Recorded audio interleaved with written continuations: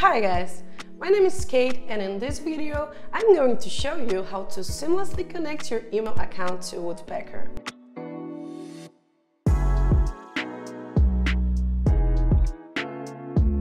Connecting your mailbox to Woodpecker gives you more possibilities and a far greater control over sending and deliverability. Your email account remains safe and Woodpecker has access only to messages connected to your prospects, which you can also change in case you wish to do so. Hooking up your email to Woodpecker saves you a great amount of time. All steps you need to take are in one place and the whole process is a matter of just a few clicks. To connect your email to Woodpecker, First go to Settings, then click on Email Accounts and push the green button. Now select Add Email and choose your email provider. Google, Office 365 or Microsoft Exchange.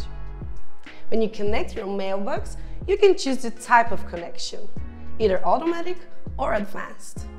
For a regular email connection, select Automatic Connection.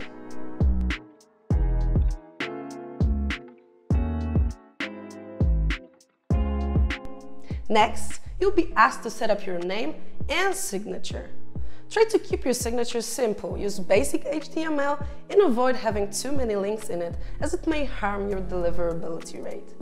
You can do it right away or skip it and set it up later in settings. Ready? Your email is fully connected. In case you have to connect a custom email account to Woodpecker, watch the video that is linked in the description. That's where I'll show you how to connect your email using the advanced connection by adding your unique IMAP and SMTP address.